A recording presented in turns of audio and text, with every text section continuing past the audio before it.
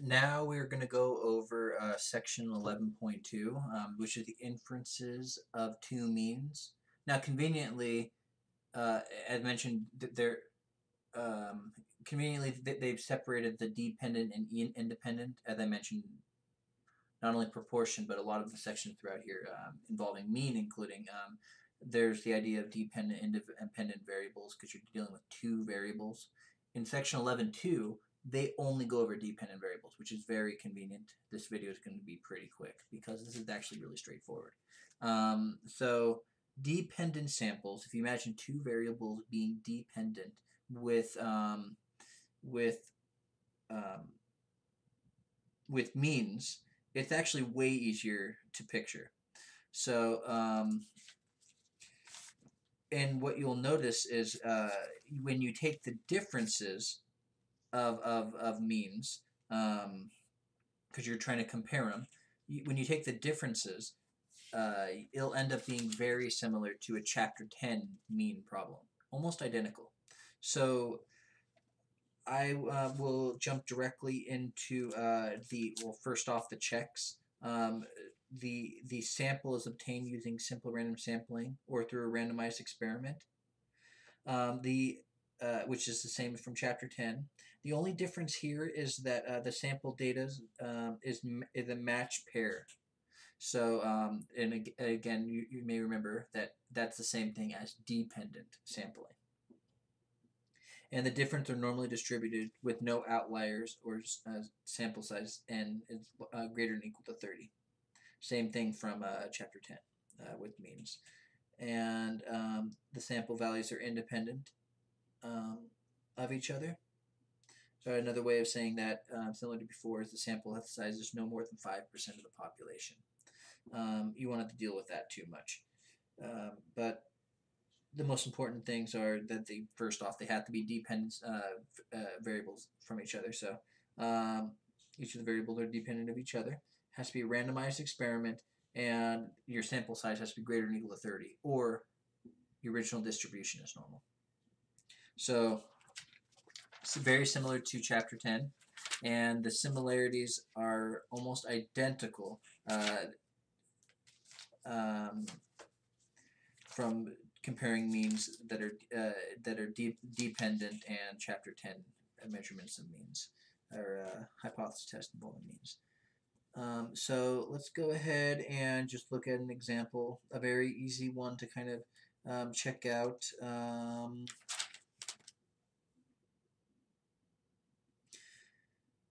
okay. Um, let's find an easy one. Car rentals. Here we are. Um, so what they're doing is they're comparing cars. Uh, so I'm looking at number 14. So I'm jumping directly into this problem here. First thing I'm writing. So we're going to go over car rentals, and this is from, again, section 11.2.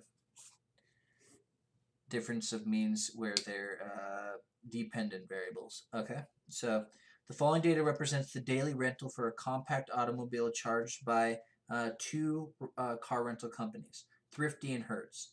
So um, there are two different uh, variables completely, uh, one one company versus another company. But what makes it dependent is that we're looking in ten different locations.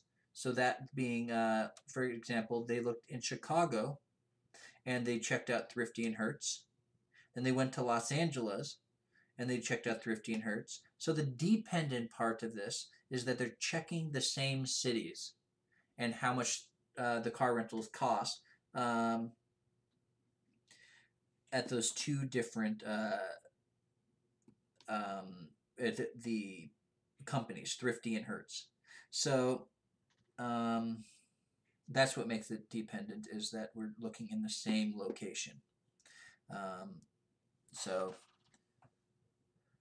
all right. Um, so let's see here, 10 locations, whether Thrifty is less than, uh, so what we want to test is whether Thrifty is less expensive than Hertz at the alpha equals 0.1 level of significance. So let's go ahead and look back at the checks. So we'll see that the checks um, the samples obtained using simple random samplings or through a randomized experiment. Um, so we can assume that, that it is obtained through a randomized experiment. Okay, so we're doing the checks first. So we're going to assume um, random. Okay. Step two, the sample data are matched pairs. And they're matched pairs or dependent. Uh, they're dependent. And the idea of matched pairs is we have a pair representing each of the cities. We have Thrifting Hertz from Chicago. There's a pair. We have Thrifting Hertz from Los Angeles. Another pair. So you can, can think of it like that. Okay. So um, let's go ahead and um, so yeah, because of the location, they are match pairs. And the third check is that the difference are normally distributed, and it actually mentions in a note a normal probability plot and box plot of the date, uh, data indicates that the difference are approximately normally distributed with no outliers. So there we go. We have that check, normally distributed with no outliers. And four, the sample va uh, values are independent. Um, and we can assume this is true. Um, and the idea is uh, we're only checking 10 different locations. And I'm sure that 10 different locations is much less than um, than 5% of the total population. So um, I guarantee, I'm pretty sure that there's more than um, so 5%. That would be 200. There's more than 200 locations here.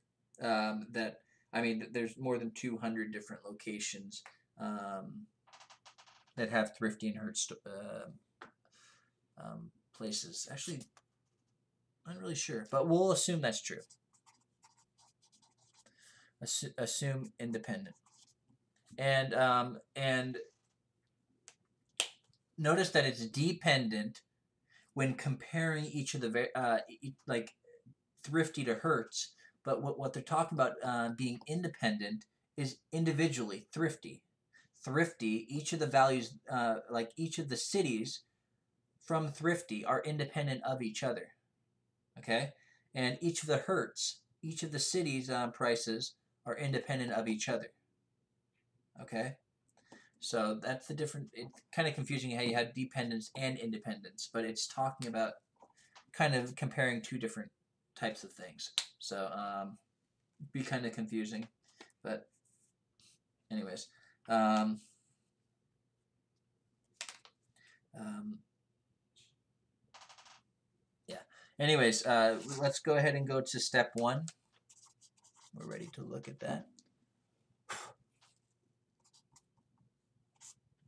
Step one, um, we have um, the null and alternative hypothesis. So, um, actually, before we get to this, I would like to kind of show you in general what we're doing. So look at the chart and I, am just going to show you the, uh, uh i would be making a new column to the right of Hertz.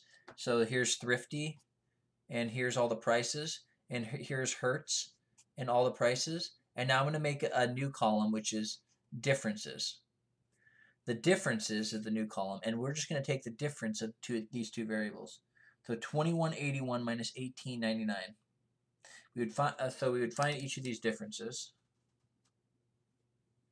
Um, 2181 minus 1899. And we have 282. Okay, there's one difference. And th that's the difference for Chicago. Then we have 2989 minus 4899. And that's negative 19 um, 0.1, the difference of Los Angeles. Then we have 17.9 minus 1999, negative 2.09. we would keep going down the list until we have all of the cities. Um, honestly, I'm not going to do all of that right now. Um, but just imagine you're turning these two different variables and finding the difference of them, and you're building a new column, and you're building one variable. You're not actually going to be calculating these two columns, except for finding the differences and building this right off. And you'll have 10 different differences, D being differences, and that becomes one variable. So this is exactly like doing a uh, difference, um, or doing a, um, a hypothesis test of a one variable hypothesis test on a single mean, all right? So, um, which is chapter 10. So it's almost it's almost identical. It's just you have slightly different um, uh, variables, but it means the same exact thing. Um, and we'll get to that. And so what we have is H naught, and what we're saying is the population mean of these values, all of them. We're only looking at 10, but the population difference, subscript D, the population difference is 0. Which means that there is no difference between them. So similar to proportion, we're subtracting these two. And what it means to have 0 is that these are the same. There's no difference. Okay? And that's what they're saying that the overall population mean is of the differences. H alternative is um, mu sub d and now it, it, it all depends on if it's a one tail or two tail test. But we can see based off the wording here is that, um, where are we? Test whether Thrifty is less expensive than Hertz. So notice that we're doing Thrifty minus Hertz. So if Thrifty is less expensive, so we're um, if Thrifty is less expensive than Hertz, then we, we're taking a smaller number and subtracting a larger number. Now, this is where it gets kind of weird. And so what we would be getting is a negative value. So what we're saying is, is the difference is less than. You kind of have to think about what you're subtracting to get the difference. You're taking a smaller value because thrifty is less than Hertz based off the claim. So you do less than 0. Okay, see how I got that logic there? Um, now, good. So we have a left tail test based off the wording of the claim, similar to back in chapter 10. And step 2 is given to you, and that's your alpha. And uh, so that is alpha equals 0.1. And um, then we do the, the test statistic. Step 3. Now, imagine we had all 10 of these. We don't actually know, um, if you're thinking about the population, similar to, to doing the mean from chapter 10, a hypothesis test, we are not given the population standard deviation we only can calculate the sample standard deviation of these differences. Okay? And we denote this S sub D. Um, and so anyways, uh, so we what we end up having a uh, t distribution because we don't know sigma, the population standard deviation of the differences. So this is equal to d hat, which means the sample mean, so the average of those 10 values, minus 0, the claim, uh, essentially the claim difference, would um, use that value, similar to chapter 10, would be going here. And notice it will always be 0.